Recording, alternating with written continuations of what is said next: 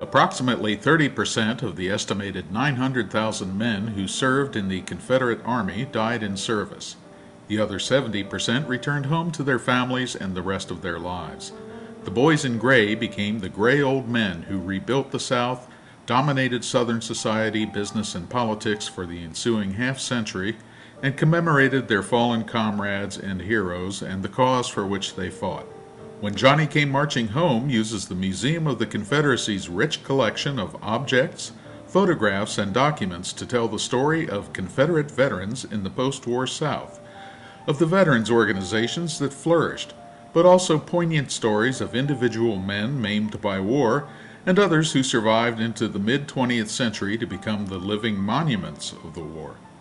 Highlights include a rare full uniform of the United Confederate Veterans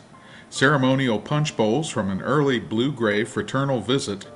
the camp flag and publications from the Confederate Veterans Camp of New York,